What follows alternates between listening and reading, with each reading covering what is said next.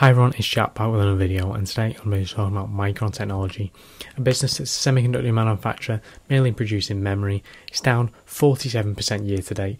Many companies down year to date, but down 50% is pretty significant. It's right near its 52 week lows of $48. It's around $51 right now.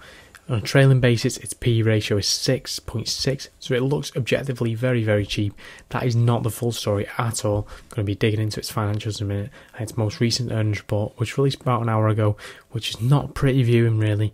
Revenue down significantly year over year and earnings per share loss. It's a business that's in trouble a little bit because this is a cyclical business by nature. These markets go up and down, particularly the memory market, the semiconductor industry as a whole is very cyclical, but particularly the mem- memory market. And while this is a low for the market cap in the in the short term, maybe this is a business that can be salvaged over the long term.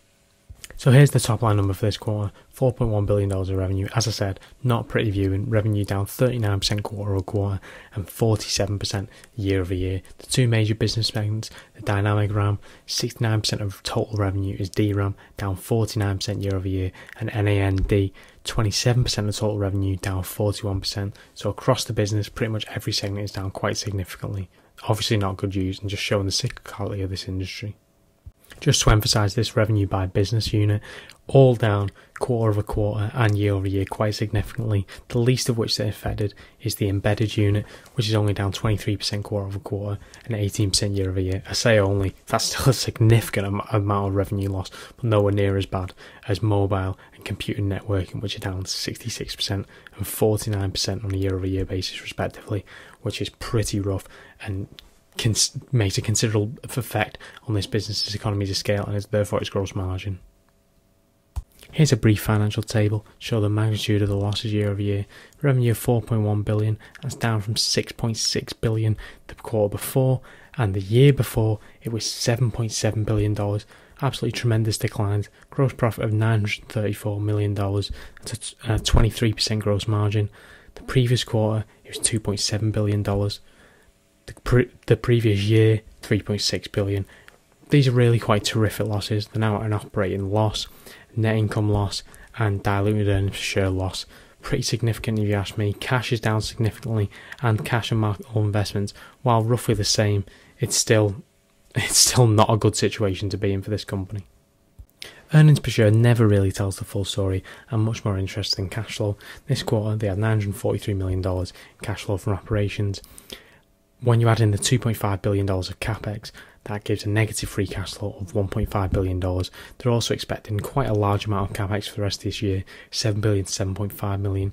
So that's pretty concerning if you ask me. They're still enacting buybacks despite having a negative free cash flow of $1.5 billion. They did $425 million in buybacks. I do not think that is a good idea. The dividend is staying it is, but it's just a 0.9% yield, so I'm not overly concerned about that. Still a decent payout ratio.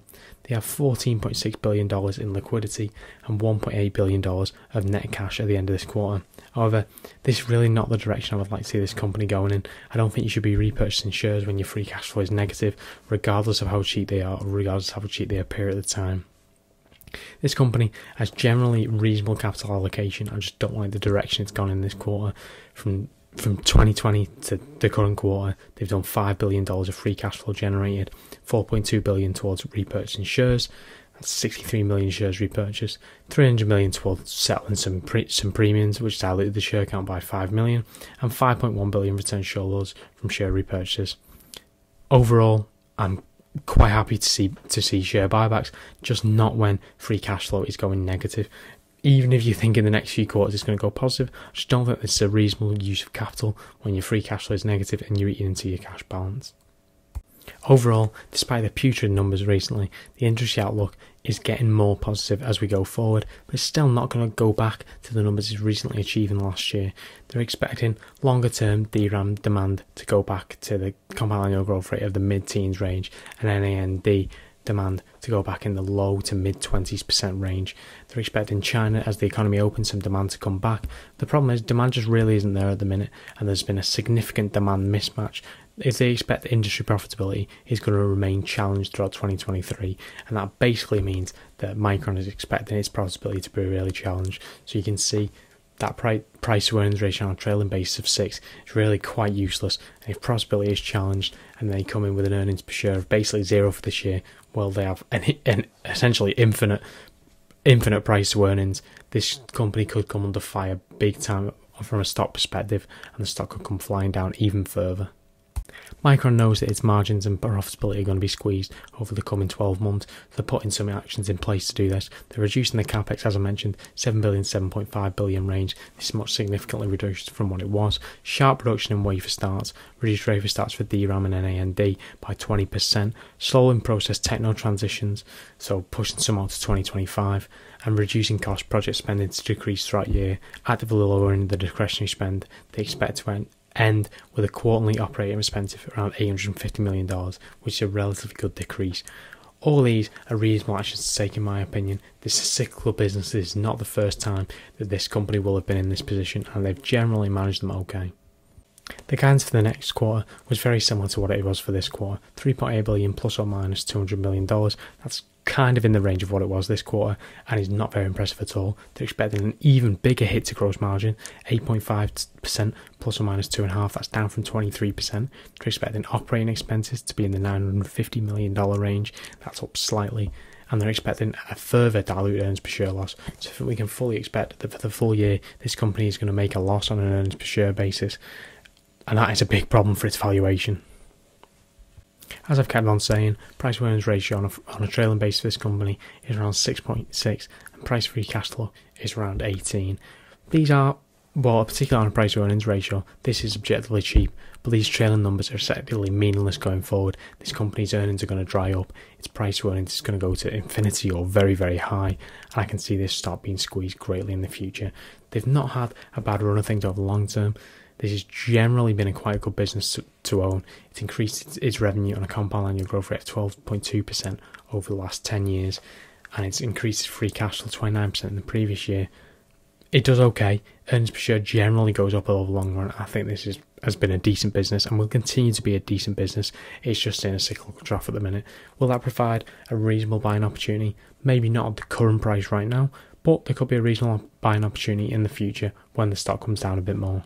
And that's really the bottom line for me. $51 right now at the bottom of a cycle or going into towards the bottom of a cycle for this industry just seems like too much of a price to pay. The price to earnings ratio is essentially meaningless. Very hard to value this company. Very hard to do a DCF without a significant degree of projection and therefore not really a conservative estimate. fifty dollars, I can see this coming down significantly. I can see it getting hurt quite a bit tomorrow, even though not really much has happened in the after hours so far. And predicting baking in a recession for this business, I can definitely see the company dropping below $40, perhaps even lower.